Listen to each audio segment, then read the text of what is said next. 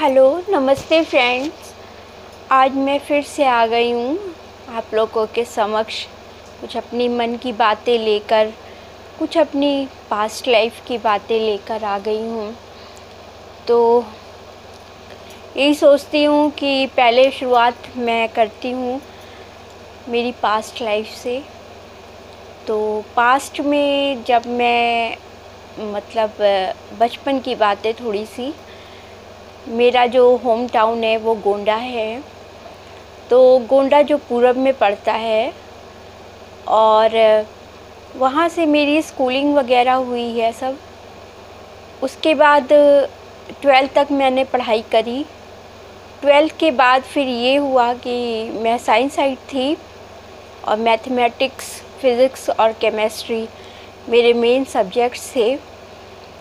तो मैंने इंजीनियरिंग वगैरह के फॉर्म वगैरह भरना शुरू कर दिए थे। तो उस समय कोई कोचिंग सेंटर वहाँ नहीं चलता था गोंडा में। और आगे लखनऊ वगैरह में भी कुछ ज़्यादा नहीं था। हाँ इलाहाबाद वगैरह में था। तो इलाहाबाद में मेरी बुआ रहती थी।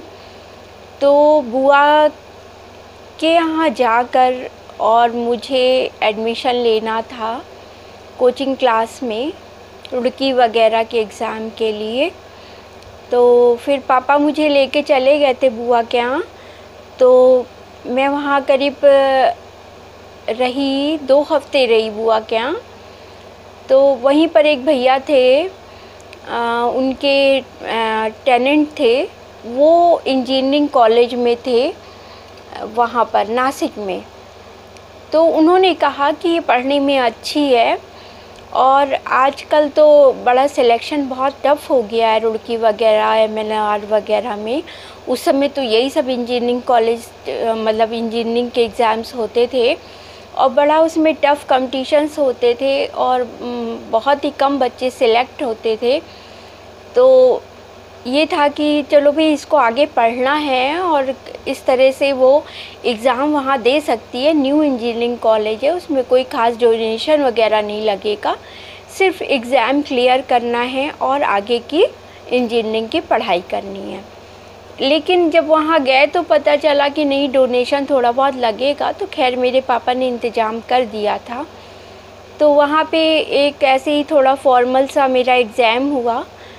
तो उसको मैंने पास कर लिया था। थोड़ा बहुत उन्होंने जो उनकी मतलब डोनेशन होता है कॉलेज के नाम से थोड़ा बहुत वो था। पापा ने वो दिया, मेरी फ़ीस भरी, मेरे हॉस्टल की फ़ीस भरी।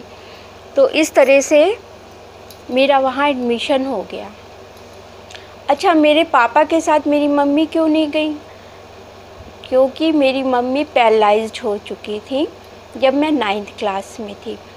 जब मैं नाइन्थ में पढ़ रही थी नाइन्थ का एग्ज़ाम क्लियर किया था फाइनल मतलब एग्ज़ाम जो होता है, उसके बाद मम्मी को अटैक आया पैलिसिस का और अचानक से उनका बाया अंग काम करना बंद कर गया और वो बेड पे हो गई।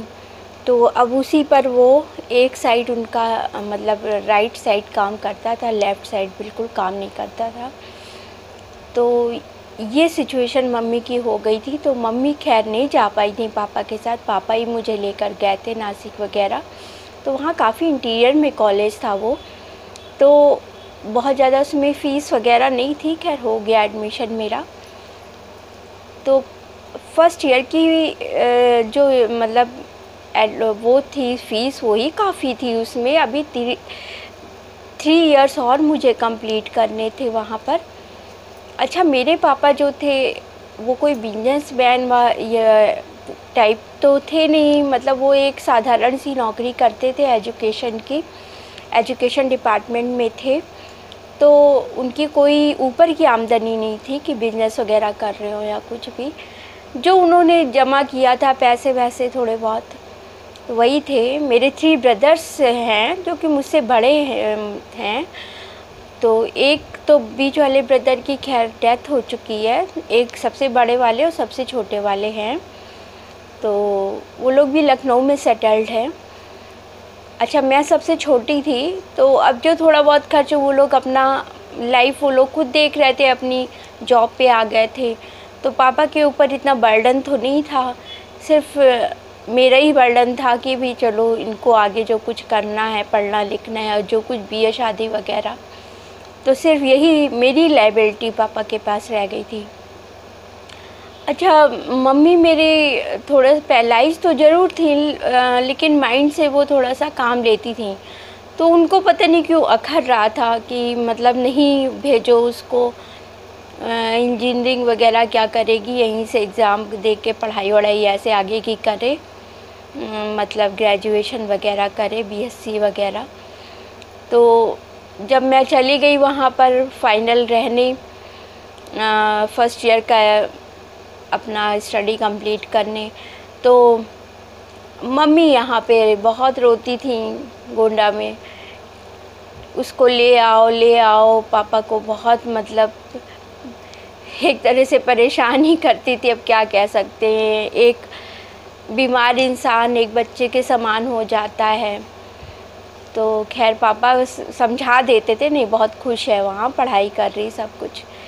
अच्छा कभी पापा जब बीच में आते थे, जैसे मतलब मेरा हाल चाल लेने, मेरा बैंक अकाउंट वगैरह ठीक करने, उसको, उसमें पैसे वगैरह डालने तो मम्मी का पूछने पे बताते थे पापा कि बहुत रो रही हैं, बहुत रोती हैं, बहुत समझा देते हैं हम। अच्छा खैर पापा को ये सब बातें मुझे नहीं बतानी चाहिए थी, अगर मुझे स्ट्रॉन्ग बनाना था। अच्छा उनकी बातों से हम भी मतलब थोड़ा सा अंदर से मेरे अजीब सा होता था होम सिकनेस ही होने लगी थी मुझे कि पढ़ाई जीवन का सबसे बड़ा लक्ष्य नहीं होता है, परिवार होता है, लोग होते हैं, सब कुछ होता है।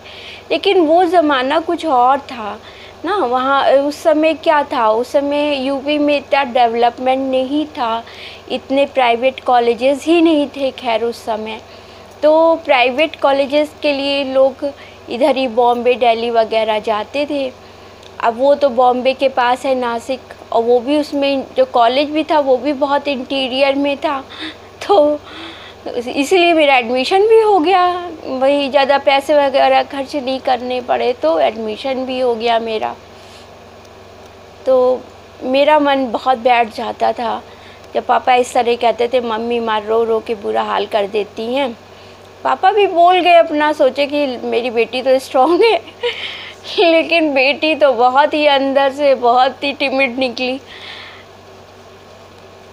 मुझे इतना मतलब अंदर से होम सिकनेस ही हो गई।